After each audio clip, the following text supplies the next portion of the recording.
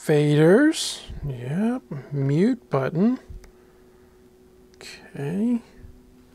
Oh, gain. Yep. Oh, oh, that that's the compressor right there.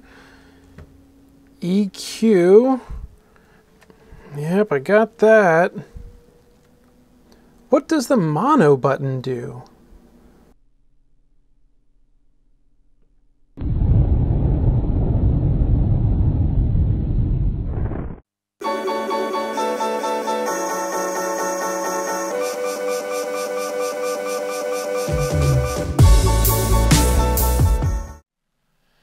Everybody, welcome back. I'm Dave with Allam House Sound, and today we're going to talk about the funny little mono button.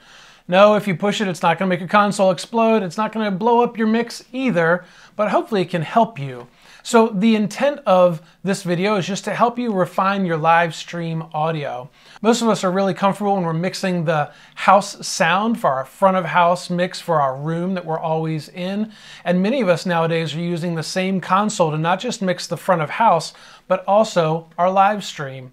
We've got headphones on, we're at the console. We have one mix engineer that's controlling two mixes, house and stream and we're trying to put our headphones on and hear the differences and make changes to both and, and make minor tweaks and do all those things to get the sound great. Now, this mono button is a great tool that you can start to use immediately that can help you really refine your live stream sound. Now, many times when I talk about practicing, I talk about thinking like a recording engineer, talk about thinking like a, a home recording artist or home studio musician. And so what I mean by that is we take our tracks, maybe we multi-track record at church, and we come home and we start to mix and refine our skills at home using plugins like compression, EQ, and reverbs and delays. And we're trying to figure out the tendencies of vocals and different instruments that we have access to, how we can group them, how we can use compressors, and all of these tools to refine our knowledge that when we get back in our church or into our venue at our console, we can go ahead and implement those on whatever our mixing console is. Now, when you start to research about mixing in a home studio or in any studio, a lot of times you hear them referred to mixing in mono for 80% of the time. That seems like a lot. And what they're trying to do when you take a mix and you, you sum it down into mono, you have to be really specific about the EQing of each instrument, the volume of each instrument. Because when you take something that's stereo, you can hear the left and rights and your head works that space out. But when you dump them together in mono, you really have to have the EQing and everything separated and different and, and tweaked just right so that your mix doesn't fall apart in mono. It'll also isolate any problems you have with your volume. So if we want the, the lyrics or the, the vocals to be on top, we can do that in mono. We've got a good band set up. You build it all the same. You're just not listening to it in stereo. And a lot of times what happens to me, you'll hear in this example when we get into it, in stereo, the band sounds great. My guitars and everything sound great. My drums sound good. My vocals are right down the middle. And what happens is I hear those outside parts pretty loud and my vocals are kind of quiet. So I bring the vocals up to meet the band sound. But then when I go to mono, what I hear is the vocals are way too loud. And so we can use this mono button going back and forth from mono to stereo to help make sure that the mix stays consistent your entire event. So let's dive into the console, into the computer, and let's go get some examples rolling. All right, so we're going to talk about this mono button now. I have X32 Edit pulled up. I have come up here to the top right and hit the monitor section. And this is in the monitor section gives us the ability to, uh, to hit this mono button right here.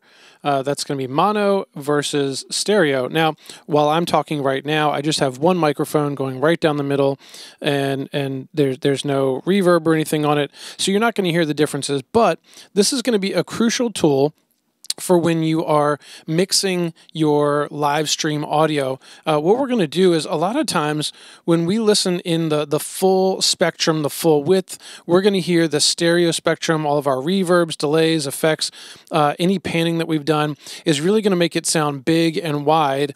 And we're going to hear that pretty prominently in our headphones or on our on our studio monitors out in the width. And then our vocals, which are usually going to be in the middle, uh, those vocals are going to seem quiet. And so, what our tendency to do is to to drive that vocal volume up. But then when we put it in mono, mono is going to give us an opportunity to hear everything kind of broken down without that extra volume on the far outsides.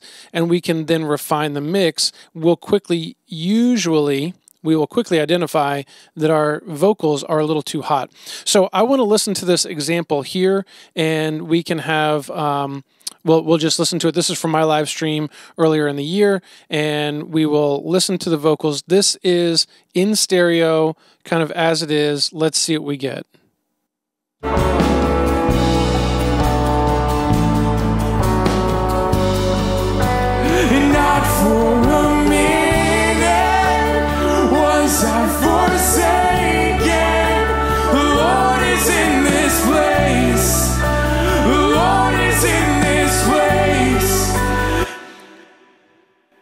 All right, so that's in in with now the vocals there to me are on top of the mix. Now I'm gonna just play the same thing right now, and I've got this this vocal um, DCA here on the left hand side that we can see, and see it's at plus three right now.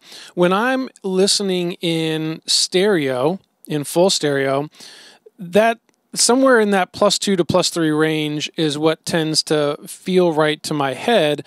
But when I listen in mono, I quickly realize it's too much. So I'm going to hit play.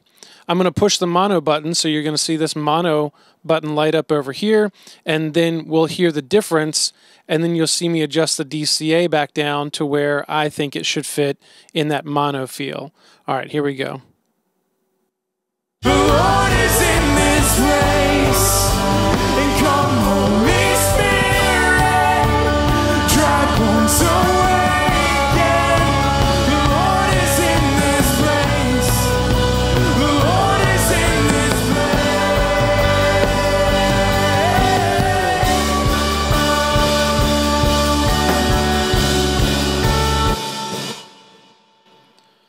All right, so we can see pretty quick that going into mono, uh, we can identify because everything is balanced uh, kind of one for one. You don't have all the panning and all the extra effects. Unfortunately, I will say that some of the effects on this X32, as good as they are in terms of emulation, they do kind of fall apart in. Um, in mono and that's that's understandable reverbs reverb emulations are made to be in stereo.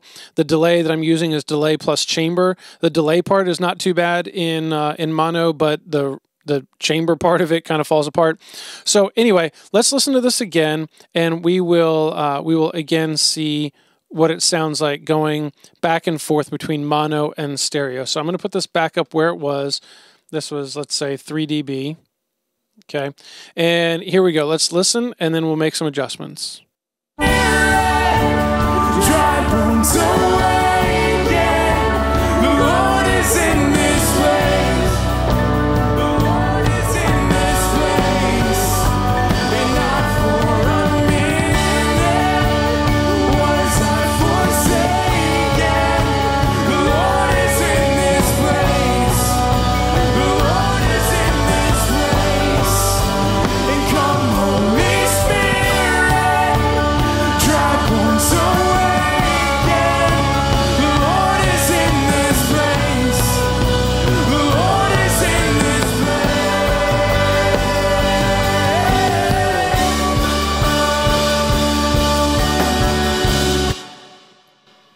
So quickly, just kind of punching around there, what you might have seen me do.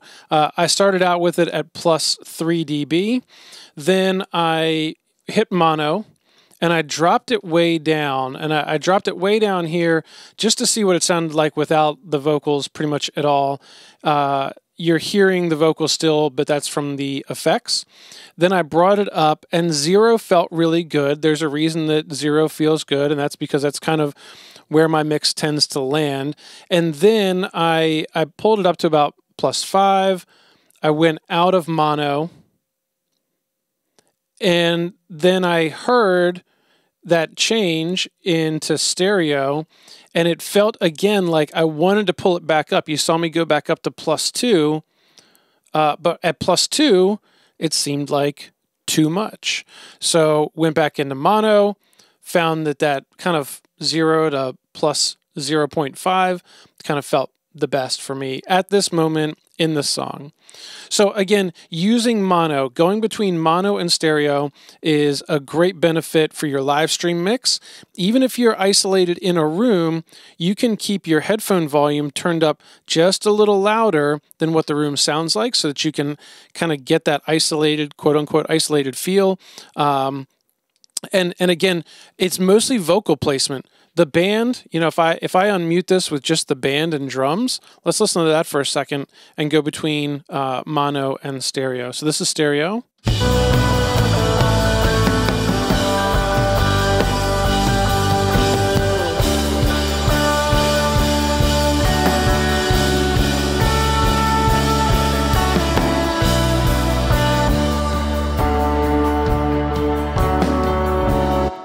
Right. So the the bass is still right in the center. The guitars are panned a little bit. The uh, acoustics are have some hard left and right panning going on. If you've watched my acoustic guitar video, uh, but when I hit the mono, they just all sum right into mono. They don't really fall apart. It's just the effects changing that we hear. So the blend there is pretty good. The biggest thing I hear with live stream mixes is that the vocals usually are too hot, and using this mono button to help you isolate that mix of when you need more vocal or when you need less vocal, probably, uh, that's going to be a big tool for you to use. So find that mono button on your console and put that thing to work. All right, well, that's just a quick video about that mono to stereo mixing, being able to use that mono button at the right time. And hopefully you heard the differences and how we really need to interact with that mono and the stereo differently so we can refine the mix really well. Now, if you like this type of content, go ahead and hit the like button. That helps out the YouTube stuff that I don't really understand how it works. Also, if you want to get more content and find out the next time I put out a video, go ahead and hit the subscribe button. I will be doing a troubleshooting series next, and we'll be using some of you guys that have subscribed and commented on a previous video to get those troubleshooting scenarios figured out, help you, and help others. And also, if you know anybody else that's only mixing in stereo, go ahead and share this video with them so they can learn how to use the mono button. We'll catch you guys in the next one. Peace.